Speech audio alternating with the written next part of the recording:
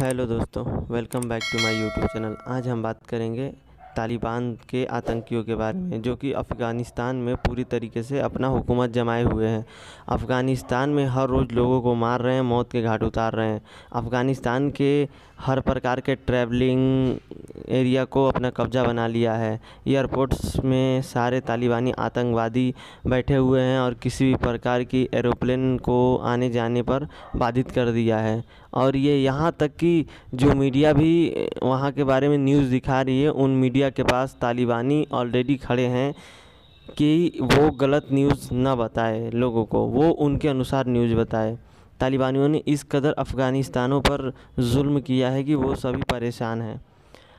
आज हम बात करेंगे अमेरिका के बारे में कि अमेरिका आखिर क्यों नहीं वहाँ कामयाब हुआ? अफ़गानिस्तान में बहुत अधिक पहाड़ हैं छोटे बड़े पहाड़ हैं, जहाँ पर आतंकियों से जीतना नामुमकिन है। क्योंकि आतंकवादी अफ़गानिस्तान को इस कदर घेर के रखे हैं कि हर एक जगह पर आतंकवादी हैं। उन पहाड़ों में छुपे हुए आतंकवादी हैं, जो अफ़गान पर हुकूमत जमा रहे हैं। अफ़गान में छोटे बड़े पहाड़ियों में सुरंग बना के ये तालिबानी रह रहे हैं। इसलिए अमेरिका की सेना को ये नहीं पता कि कहाँ पर कौन छुपा है। इसलिए वो वहाँ लड़ने में असक्षम हैं।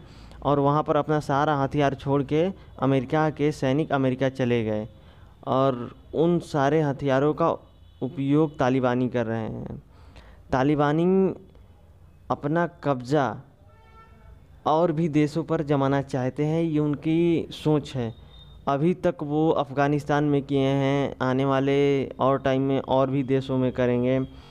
तो हमें तालिबानियों से सतर्क रहना होगा और इसी के साथ आप मेरे चैनल पर नए हैं तो कृपया चैनल को सब्सक्राइब कर लें ताकि भविष्य में नया आने वाला वीडियो सबसे पहले आप तक जाए।